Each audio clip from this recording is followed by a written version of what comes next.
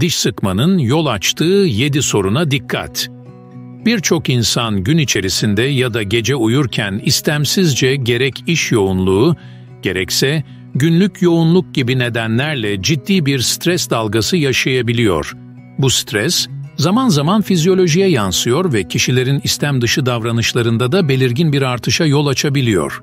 Diş sıkma alışkanlığı da bu davranışlar arasında ilk sıralarda yer alıyor. Diş sıkma, gün içerisinde ve uyku sırasında diş gıcırdatma veya sıkma biçiminde gerçekleşen ağzın sert ve yumuşak dokularında çeşitli olumsuzluklara yol açan istem dışı bir çiğneme sistemi rahatsızlığıdır. Günlük aktiviteler sırasında bireylerin dişlerini temasta tutup onlara kuvvet uygulaması çok sık rastlanan bir durumdur. Bu tip aktiviteler gün içinde bir şeylere konsantre olunduğunda ya da yoğun fiziksel kuvvet sarf edildiğinde de görülmektedir.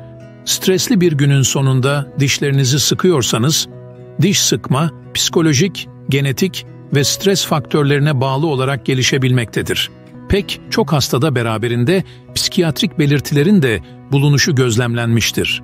Bu sendrom ile ilgili yapılan çalışmalarda hastaların psikolojik ve psikiyatrik açıdan da değerlendirilmelerine ihtiyaç duyulduğu bilinmektedir. Psikolojik etkenler var olan ağrıyı ve yakınma şiddetini artırarak ağrıyı gidermek için uygulanan tedavilere yanıtı azaltabilmektedir.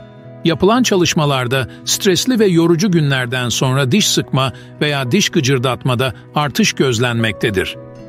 Bu alışkanlıkların anksiyete, sinir, kaygı ve depresyon ile ilişkisi olduğu bilinmektedir. Diş sıkmanın yol açtığı 7 problem, diş sıkma neticesinde dişlerde, eklemlerde, dokularda gerilmeler ve ağrı meydana, diş sıkma diş aşınmalarına yol açabilmektedir. Diş sıkma devam ettiği sürece oral bölgedeki hasar daha da artar. Diş minesinde çatlaklar, dişlerde hassasiyet, mine kırıkları ve renklenme görülebilmektedir. Uzun vadede kemik erimesi ve diş eti çekilmesi ile karşılaşılabilmektedir. Diş sıkmayı sürdürenlerin çoğu geniş restorasyonlara ihtiyaç duyabilmektedir. Baş ağrısına neden olabilmektedir. Diş sıkma ve diş gıcırdatma yüz kaslarında ve çiğneme kaslarında büyümeye neden olur. Bu da uzun dönemde kare çene görünümüne neden olabilmektedir. Ayrıca bu kaslarda ağrı, hassasiyet, yorgunluk ve fonksiyonel sınırlanma görülmektedir. Diş temasını kesmek için şeffaf plaklar kurtarıcı diş gıcırdatma ya da sıkma problemlerine karşı bir takım tedavi yöntemleri uygulanmaktadır. Diş hekimleri ilk aşamada daima geri dönüşü olan konservatif tedavilere başvurmalıdır. Bu yöntemlerden biri dişlerin birbirine olan temasını kesmek için kullanılan şeffaf plaklardır.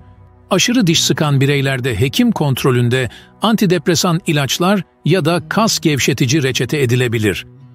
İlaç tek başına bir tedavi yöntemi değildir, mutlaka şeffaf plak ile beraber kullanılmalıdır. Düzenli kontrollerle uzun ve kısa dönemde ortaya çıkabilecek zararlar önlenebilir.